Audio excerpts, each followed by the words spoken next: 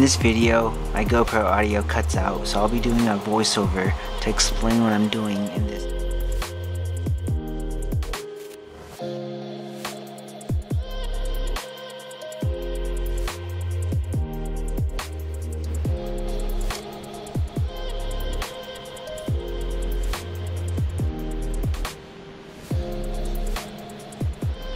So let me explain why this works. Yeah, I could just throw this small swim bait and probably catch on them too, but I'm fishing a low tide right now and there's tons of structure. The plastic's probably going to get either wedged between some of the low tide rocks in this riprap or if I'm using the exposed jig head, probably get snagged and break off.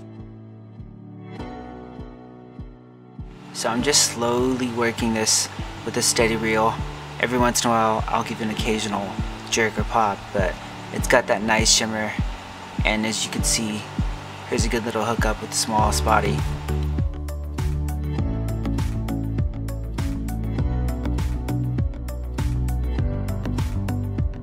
So this little guy just swiped at it probably just hit the tail but you can see I barely hooked him with that one treble on the bottom lip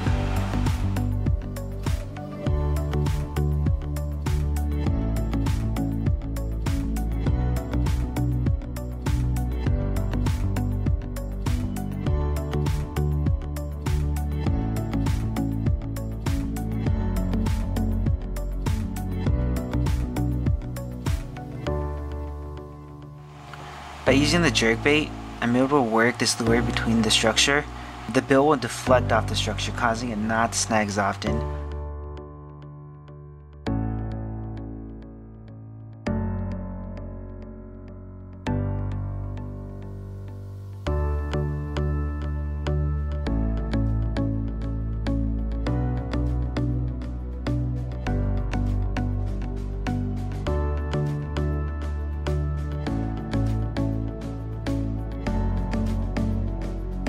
Unfortunately, this is the only halibut of the day.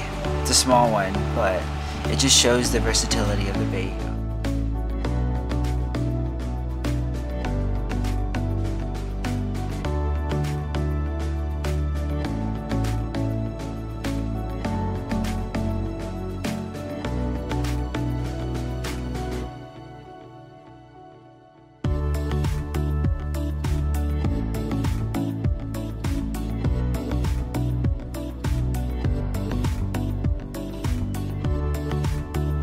Jerkbait mimics the baitfish perfectly.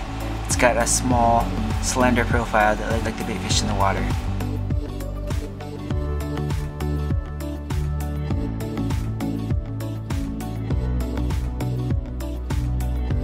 So in this clip, you can see I'm slowly working this with a steady retrieve, and then I'm gonna bump into a couple rocks. You can see me twitching my rod tip upwards, causing it to deflect off this rock. As soon as I do, I get bit.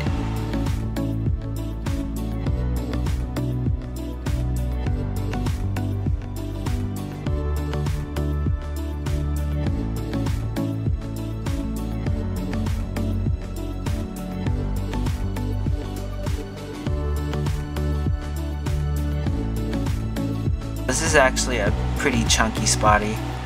And once again, it bit that last treble, that second treble hook.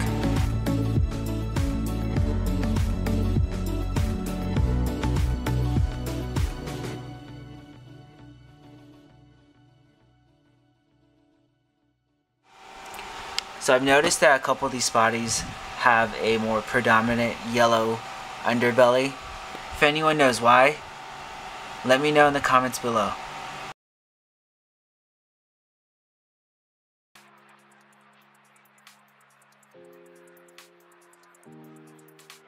In this clip, you're going to see the slightest bite in my rod tip right before I set the hook. This body actually swiped at the jerk bait, but I still managed to tag it right in the side.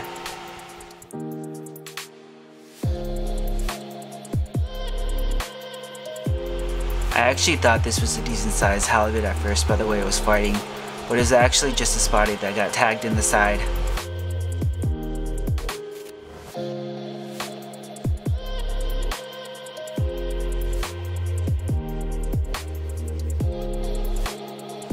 But the cool thing about using treble hooks is that sometimes when fish swipe at them like this, you get those foul hooks and you still manage to hook up in the end.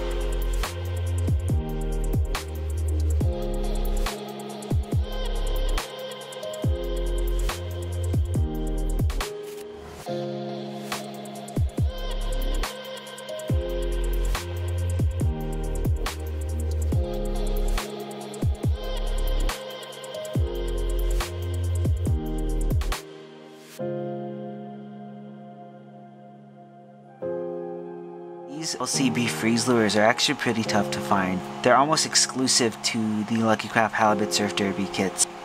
I'll link below where you can find some of these kits online.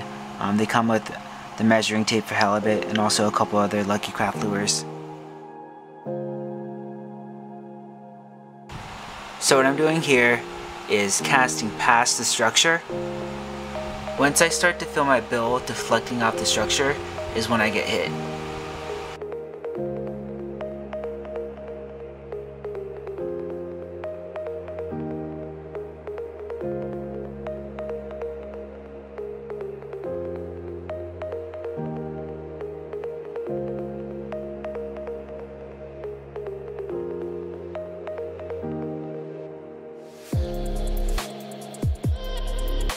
So this one right here actually took the front treble instead of the second one.